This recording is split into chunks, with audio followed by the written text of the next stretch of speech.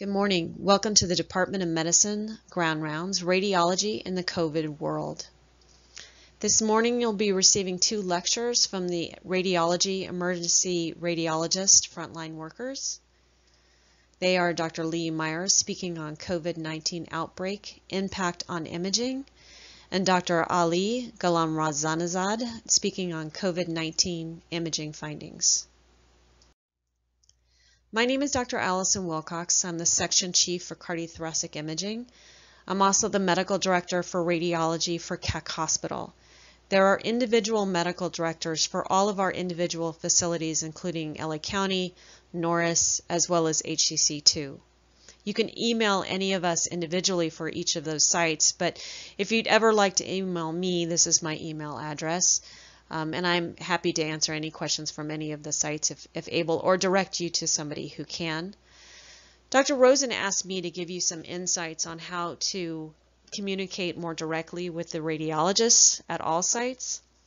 I was fortunate enough to do internal medicine here um, before I started my radiology residency, and that was so long ago when you used to have to walk to work uphill in the snow each way in Los Angeles. Um, but also, we were made to come down to the radiology department with our papers in hand and be punished each time we would ask for something from the radiologist. And I felt very fortunate that I was a radiology resident at least, and I could navigate the system a little bit. And I realize that's not available for all of you. Um, so I hope some of this information will be helpful. I'd first like to draw your attention to this website, trojanimaging.com. This is a website that we developed and it's filled with a bunch of really important information that we use on a daily basis. We leave this open on our desktops at work. It includes a bunch of intranet links. It also has literature and references and calculators that we use on a daily basis. But if you scroll down to the middle of the document, you will see a list of radiology directories which you can click on and open. Um, and these are open to all of you. Some of the, the links in here are password protected, but um, these are not, and many of them within the um, trojanimaging.com website are not. But if you click on any of these, this will expand open and will give you all of the reading rooms that might be available to you. Um, for example, for example, if you expand the LA County directory, this is what it would look like. You'll see chest x-ray, multiple CT bodies, GIGU, neuro, etc. You'll also see some after hours numbers that you might find useful. A little bit of a caveat here, there are multiple CT numbers you'll see listed. Um, no one person owns these workstations. The phone is tied to the workstation. The workstation might not work so well, so we'll skip around. So um, try one, and if that doesn't work, go to the next one. Um, but we should be able to help you with one of those few numbers that might be sitting there. This is what Keck Medical Center looks like. There's one number for the reading room phone tree for Keck Hospital. Uh, for example, if you wanted to get in touch with neuroradiology, you would hit 1, um, body imaging 3, and, and then that would populate another tree. For, so for example, this is the body imaging reading room extensions, which populate under 3. But it also has a bunch of other information in it. So for example, here's the CT suite at Keck and the number for that. So for example, if you wanted to find out where your patient was on the CT list, if it was first, second, or 10th, and why, um, so you can better navigate your day, but this might be um, helpful for you to call. Dr. Rosen also asked me to give you some information on some specialty contacts. As I already stated, I'm the cardiothoracic imaging director, so I would be the person you would contact if you had a question on what do you want to do on a patient who has presumptive myocarditis and EKG findings such as this, etc. Um, so you contact me. Also for any Keck Hospital concerns, please do let me know. For MSK, it would be Dr. White, Neuroradiology, Paul Kim, Head and Neck Radiology, John Go, for the interventionalists, I, I thought about giving a specific person. Mike Katz is the um, section chief, but it really is dependent on who's there at any particular time, and they're the ones who are actually going to be doing the procedure. So I would say that that would be pretty site specific. For urology or Norris concerns, Dr. Vinay Duddalwar. For prostate or liver imaging questions, Suzanne Palmer. For ultrasound questions, Dr. Ed Grant. For general body questions, including body MR, Gil Wong. Norris questions can be Phil Chang or Vinay Duddalwar. For GI imaging, including fluoroscopy at all sites, Tapas Tejura. County CT body concerns should be Armin, but I, I would say that um, he's concerned very much with CT flow in general and often speaks to neuro CT cases um, as neuro uh, protocols are not um, very deviant. They, they tend to be pretty routine. So um, Armin tends to be involved on a daily basis. For the emergency department, Dr. Casara, mammography, Dr. Larson, and for nuclear medicine, Dr. Colletti.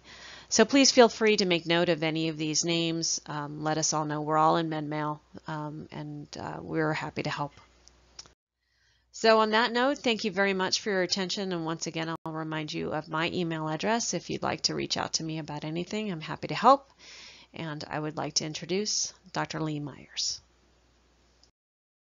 Hi everyone. Thank you all for joining this lecture. I would also like to thank Dr. Rosen for inviting radiology to the Department of Medicine Grand Rounds. Today I'll be discussing the impact of COVID-19 on imaging and how ultimately this will affect our patients and referring clinicians. I have nothing to disclose. My hope is this lecture will act as a primer for both the current impact on imaging, but also in the upcoming months. I'd like to take you into the world of radiology, which can lead you to a better understanding of the inner workings of radiology, recognize the impact on imaging throughput and potential delays, as well as examine radiology safety practices, which will ultimately protect our patients and staff. Radiology can be a black box to many staff and clinicians. I remember when I was an intern, I would handwrite imaging orders, which included things like the exam, indication, if it was routine or stat, but really the floor clerk is what made it all happen. What we would see is the transporter come and pick up the patient. Time would pass. The patient returned from radiology. The images were available, and a short time later, a report was also available. What I didn't understand was the process behind the scenes to allow all of this to take place. I'd like to share the policies and procedures during the COVID-19 pandemic to help illuminate the inner workings of radiology. The policies we have in place are to decrease transmission, which can be from patient to patient, patient to staff, or staff to patient, as well as decrease impact on imaging throughput. I like to think of radiology as an intersection between departments. What I mean is we receive patients from the majority of clinical departments. When we are running business as usual, even during our busy hours, we don't get a lot of traffic jams. We can anticipate stress in our system, whether that's increased number of patients, decreased staff, or even equipment failure. We can increase the number of staff, pull staff from other sections, or we can utilize additional equipment. The best analogy that I could come up with regarding radiology and the COVID-19 pandemic is imagine you're at a busy intersection and the signal lights are blinking red. A couple cars go by, followed by a pause, and then some more cars go. Overall, there's a substantial slowdown of traffic and frustration. Or in radiology, that would be akin to imaging throughput and frustration from our patients and providers. The signal lights will not fully function until the pandemic has receded. However, similar to adding a traffic officer, we have created processes that will decrease the impact on imaging. Why are we talking about intersection between different departments and what is the process that is causing decreased throughput? One major cause of inefficiencies in radiology throughput is the lack of communication or interfacing difficulties of the other black boxes in the hospital. Changes in procedures and policies in these black boxes can lead to confusion for radiology. I'd like to share with you an example. Recently, there was a patient that had a CT abdomen pelvis in the emergency department, and when reviewing the chart, I saw the patient was on droplet precautions and also had a COVID-19 test pending. These were performed after the CT was performed, and our technologists did not use PPEs for droplet precautions, nor did they decontaminate the room. When I talked with the emergency medicine physician, she said that the patient only got the COVID-19 test because they were admitting the patient to the ICU, which she explained to me was a mandatory process and the patient did not have any symptoms of COVID-19. Radiology uses the precautions in the electronic medical record to determine if a terminal clean is needed, which will take down our scanner for at least an hour. This is just one example of how policies in other departments can affect throughput for radiology. We may receive patients from multiple departments at the same time. In normal circumstances, this doesn't pose too much of an issue, especially for CT, because we can do those fairly quickly. However, if we have multiple patients with or suspected COVID-19, we'll have to take down the scanner for about an hour and do a terminal clean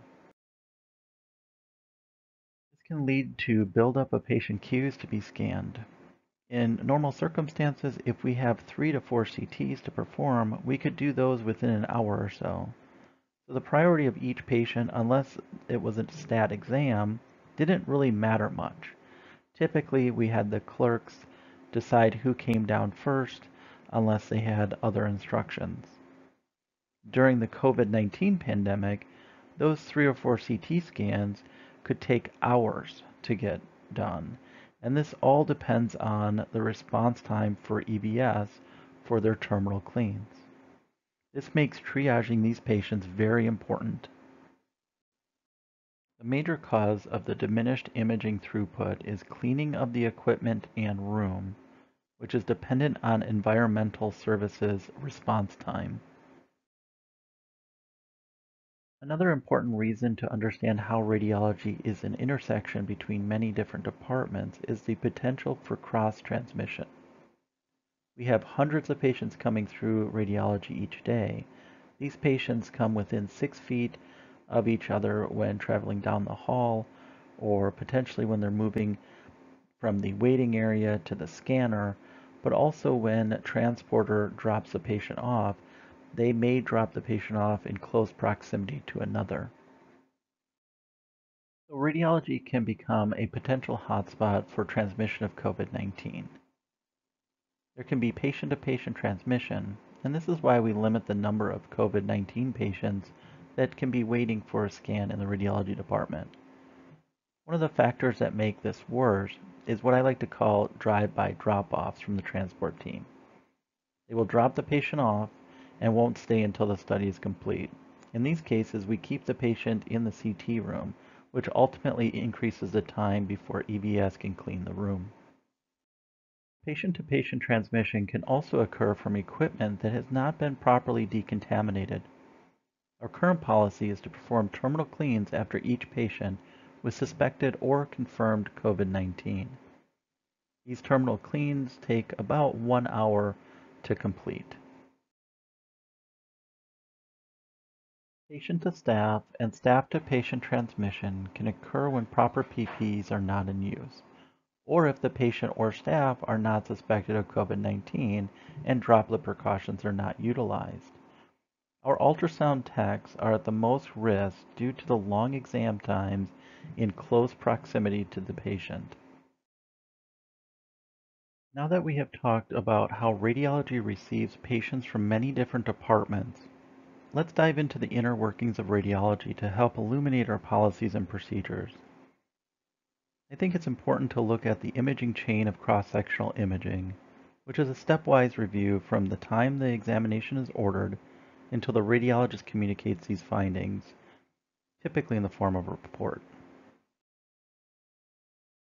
I'll be talking about the imaging chain for cross-sectional examinations such as CT, MRI, and ultrasound in the context of emergency department patients and inpatients. I won't be discussing outpatient imaging. COVID-19 precautions are used in radiology for any patient in droplet or airborne isolation, a patient that has a COVID-19 test pending, or is suspicious for or confirmed COVID-19. It is important to remember that transporting patients in the hospital does carry minimal risk to staff and other patients. Imaging of COVID-19 patients have an impact on throughput of imaging for other patients and also can put our staff at risk. Only essential imaging should be ordered, and this imaging should change management of the patient. Please document in the order under the indication that the patient is suspected or confirmed COVID-19. This will help radiology staff recognize COVID-19 patients so they can don the appropriate PPE. Also, discuss the case with the radiologist. This will help us better triage multiple patients that have COVID-19. Another good reason to discuss your patient with the radiologist is so we can select the proper protocol to limit the times the patient has to return to radiology. Scheduling is a process in which the patient order is seen by the nurse assistant, which then decides when the patient will be coming to radiology and which scanner will be used. This is based on all other patients on the list and which scanners are being used at that time.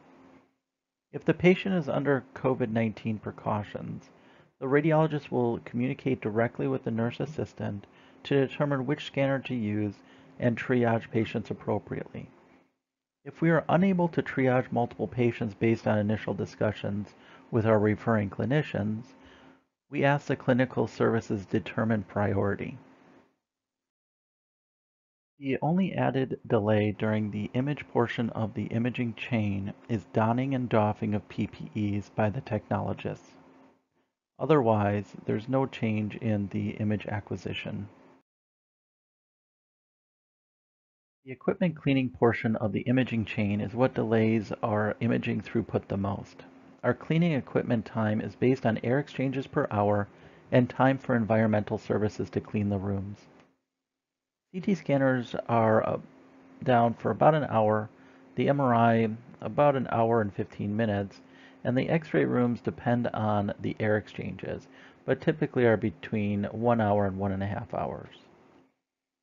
It's important to note that sometimes EVS is being overwhelmed with cleaning other areas and may take longer to respond to radiology requests. Typically, we have seen delays up to two or three hours, but we've had one delay up to eight hours for a single study. It's important to recognize they are doing a good job and they are just understaffed at times. Other than meticulously evaluating lung parenchyma on non-chest imaging, such as neck and abdominal imaging, there won't be much differences in interpretation during the COVID-19 pandemic. One of the major differences in the imaging chain during the COVID-19 pandemic is the communication portion. If there are imaging findings of COVID-19 on a patient that is not suspected to have COVID-19, we will immediately call the provider and the imaging area to have the equipment cleaned. Now let me give you some of the radiology policies. All x-ray imaging on COVID patients should be portable. They should not be done in the radiology department. Ultrasound imaging should also be portable. If CT imaging is being requested, COVID-19 patients are imaged on CT2 on the third floor in the radiology department. For MRI imaging, we recommend limiting the use on COVID-19 patients. Please remember to communicate with radiology leadership for any issues that arise or for any policy or procedure changes that will affect imaging. Have a low threshold for calling radiology for questions regarding appropriate imaging. And please remember to place surgical masks on all patients coming to the radiology department. Please help us protect our techs. This includes X-ray, CT, and MRI techs, but also sonographers, which are at the highest risk due to close contact for extended amount of time. Limit ultrasounds to only essential examinations and use the term COVID-19 in the indication for suspected or confirmed COVID-19 patients. In summary, I hope I was able to illuminate the inner workings of radiology and the impact the COVID-19 pandemic has on imaging. Please remember to help us protect our patients and staff by using portable imaging, surgical masks on all patients, and use only essential imaging. Communicate with radiology leadership if issues arise or if there are policy changes. And please remember cleaning delays are approximately one hour per patient with COVID-19. However, EVS is understaffed and times vary greatly. Thank you for listening and please contact me with any questions you may have. Good afternoon, everyone. My name is Ali. My last name is Ghulam Reza Nejad. Probably it's the longest last name you have ever heard. I'm assistant professor of diagnostic radiology with Keck School of Medicine of University of Southern California. Uh, I work with the Department of Radiology Division of Emergency Radiology. It's a great honor for me to give a talk today on imaging features of coronavirus disease 2019 or COVID-19. It will be a kind of image rich presentation. I'll show you a lot of images starting with this one which is a 3D reconstruction of CT images of a patient with COVID-19. She was a young patient. Before I start, a brief review of what we did over the last three or four months on COVID-19. We started very early actually. I think the first manuscript that we worked on was about like January 15. At that time, there were not that many publications out there, maybe a couple of case reports, one or two original research. Uh, but we did this manuscript, we did this publication in Journal of the American College of Radiology to make sure that radiologists know about the imaging features of the disease and more importantly to make sure that the radiology staff know how to deal with these patients because at that time there were a couple of reports concerning about nosocomial transmission of the disease from China and we wanted to make sure radiology staff technicians radiologists nurses know how to deal with this patient not to not only to protect themselves but also to protect patients from uh, disease transmission. And after that, we had several publications, maybe eight or nine has already have already been published, and we have at least 10, 12 studies under review. The main question to be answered in this presentation is what is the best diagnostic approach to COVID-19? To answer this question, actually recently we did a new study.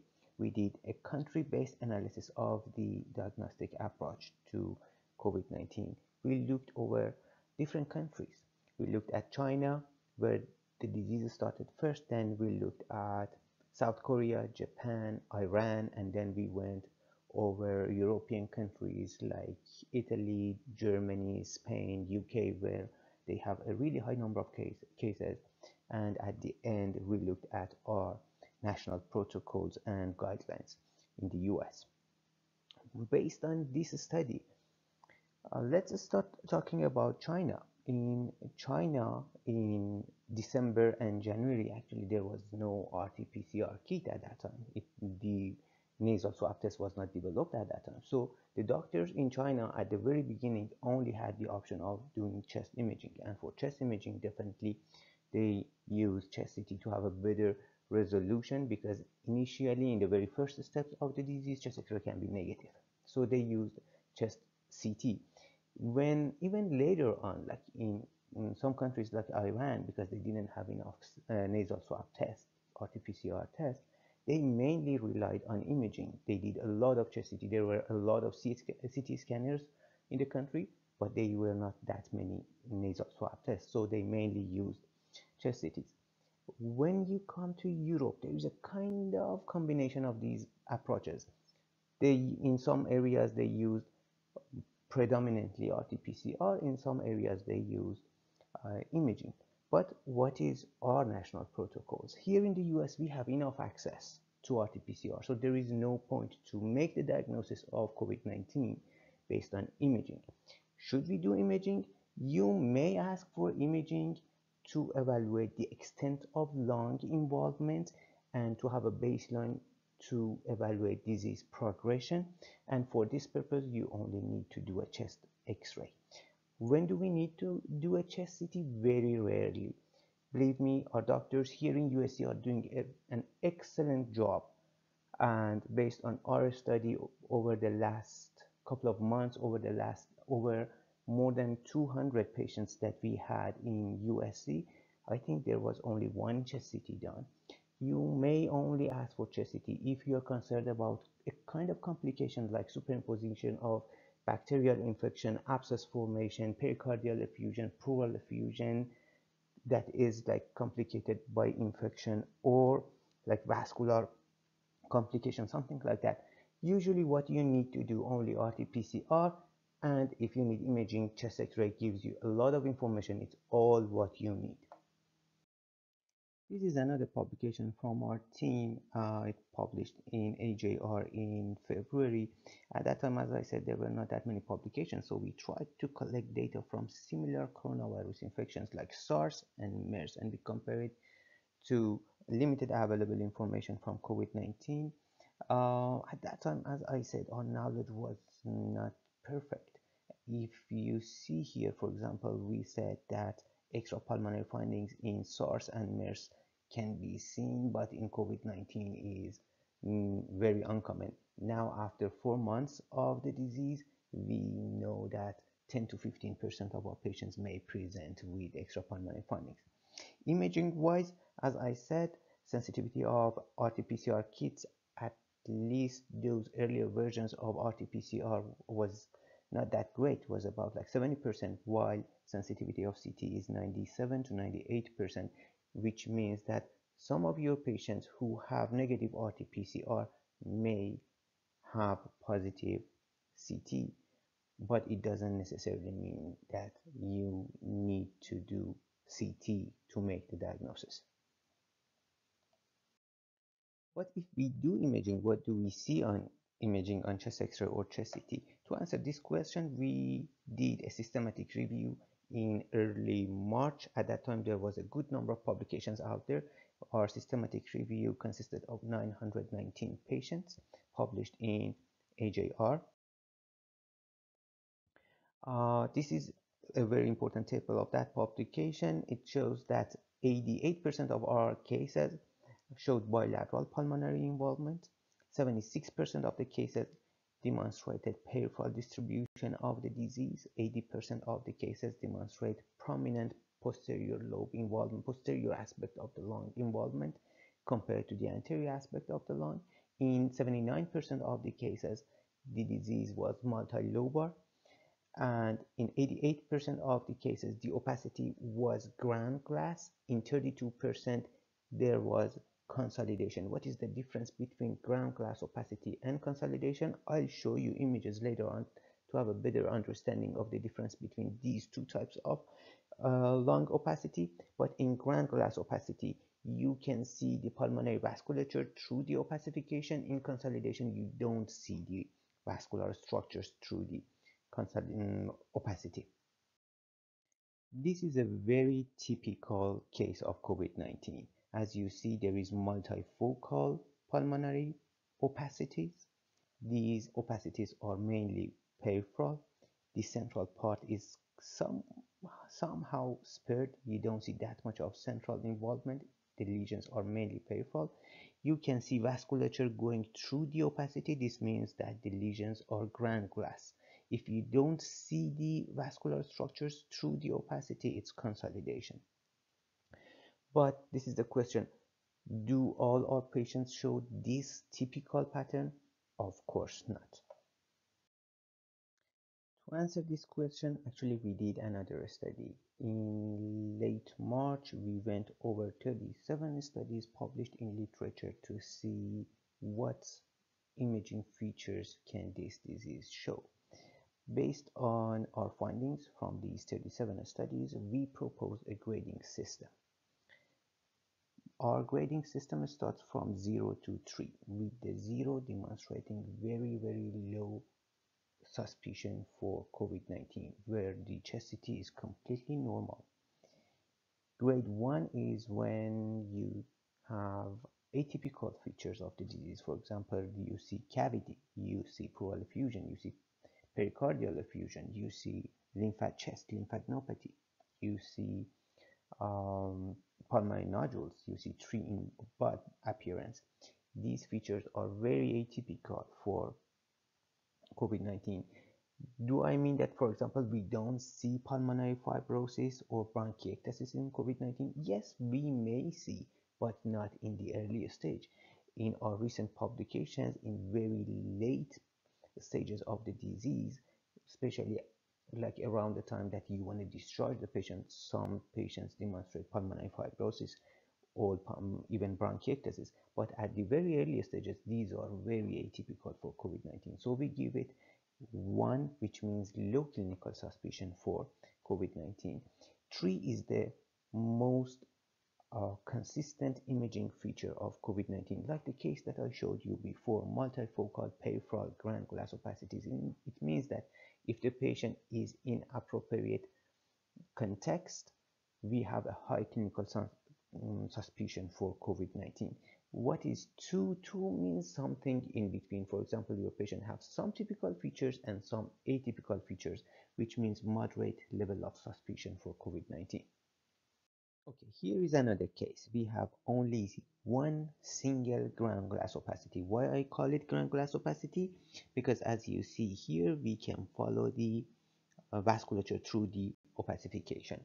It's only one single ground glass opacity, so based on our classification, it goes to grade 2, which means moderate suspicion for COVID-19. Why it's moderate why it's not high because it's single. If it was multifocal we could grade it as 3 I mean high clinical concern for COVID-19 this is another good case. A 58 year old male presented with fever cough and shortness of breath for a few days. This is a very typical feature.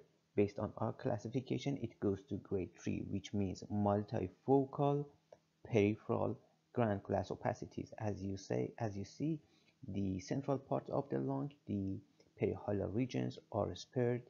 The lesions are subpleural, peripheral, multifocal, and are ground glass opacities. This is a very typical feature of the disease. Okay, if you want to know how the disease progressed, this is a very good case. This is exactly the same patient that we saw in the previous slide. Three days after admission, here are the images. You see, again, we see those ground glass opacities but now we have superimposition of consolidations. Those areas of like more confluent white consolidation this is superimposed consolidation on ground glass opacities which means disease progression. Further follow-up on the same patient. The same 58 year old male now six days after admission you see we have progression of consolidations. There is no ground glass opacity almost the entire dose ground glass opacities has been replaced by consolidation, which means significant interval progression of inflammatory process and infection with COVID-19. Further follow-up on the same patient. What was the clinical indication? We don't know. It was done in another country. Uh, we definitely discourage this kind of management because too much radiation for nothing. This follow-up could be easily done by chest x-ray but for whatever reason they did and now we are showing the images of it. Again we see multifocal peripheral consolidation. So we have a transition from ground glass opacities to consolidation. Here in some areas lower down in these coronal images you see air bronchogram. And based on new studies air bronchogram and these many consolidations are a radiologic sign of poor prognosis of the patient. Okay a new patient she actually was one of our patients. She was here in USC in County Hospital actually.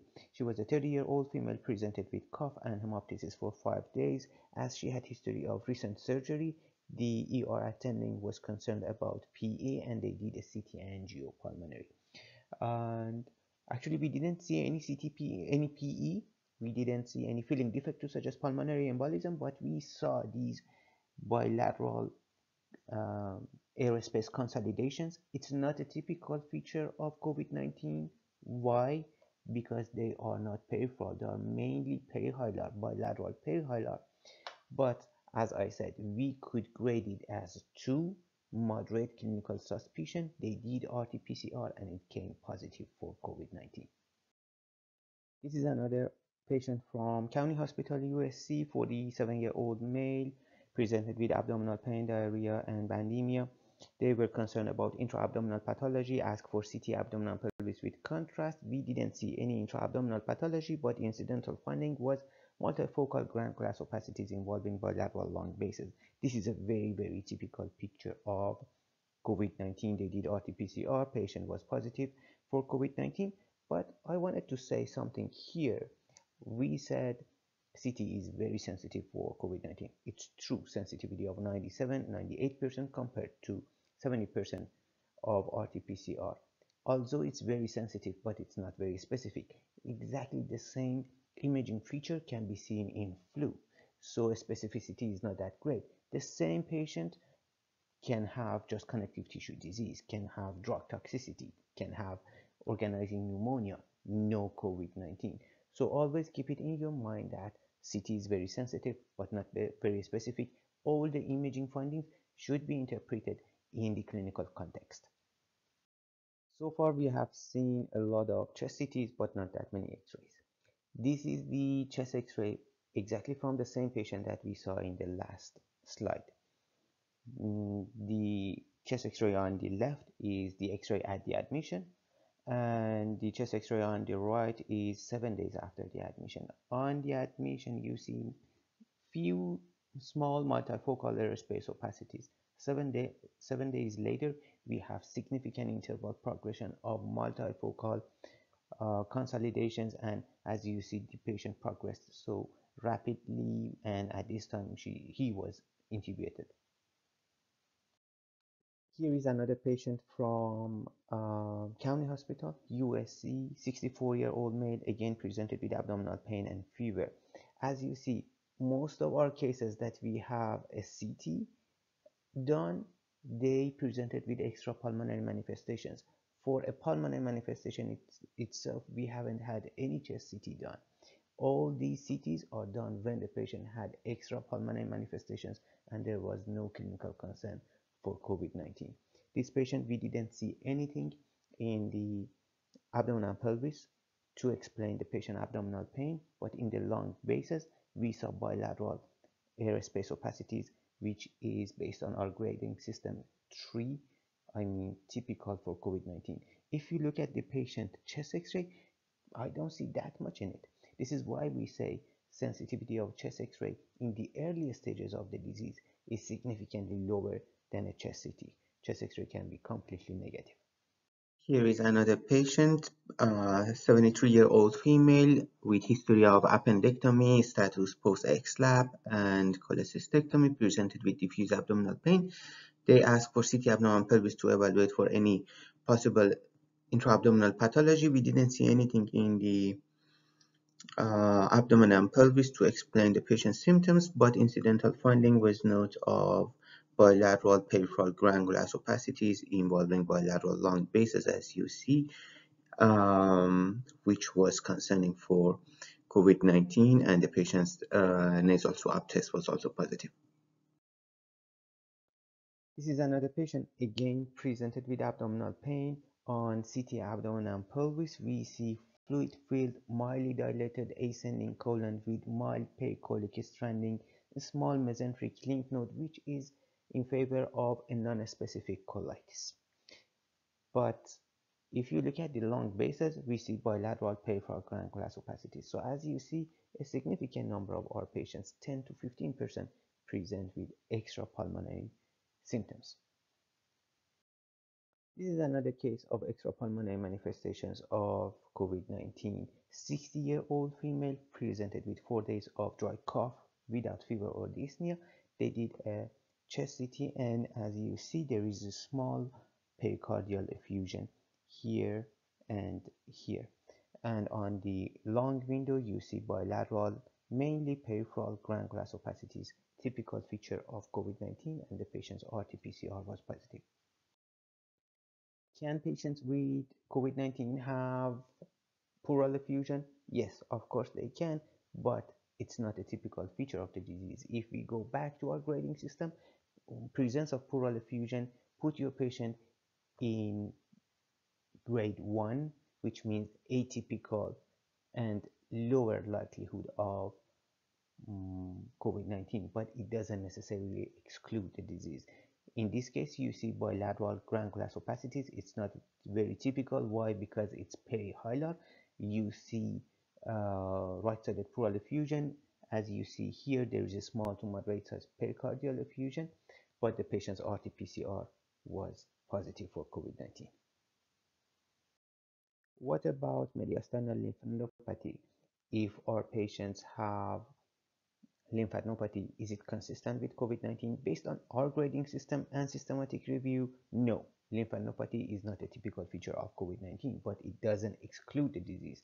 Look at this patient, 59-year-old male with positive RT-PCR. They did a chest CT. We see bilateral ground glass opacities, mainly peripheral. I would call imaging of the lung. If, if it was only the lung window, I would call it grade uh, 3 because it's very typical for COVID-19 but when we go to soft, visual, uh, soft tissue window when we when we see this mediastinal lymphadenopathy it goes back lower down into grade 2 because mediastinal lymphadenopathy is not a typical feature of COVID-19 in this case RT-PCR was positive though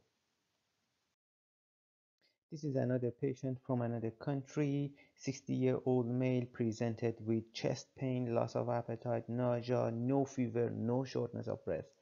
As the patient has history of CABG, they were concerned about ischemic heart disease. They asked for CT angiocoronary and as you see all the grafts are patent like you see Lima, you see SVGs are patent, but incidental finding was multifocal peripheral ground glass opacities consistent with COVID-19. So these days, even if your patients present with atypical features, we have to put COVID-19 high within the differential diagnosis.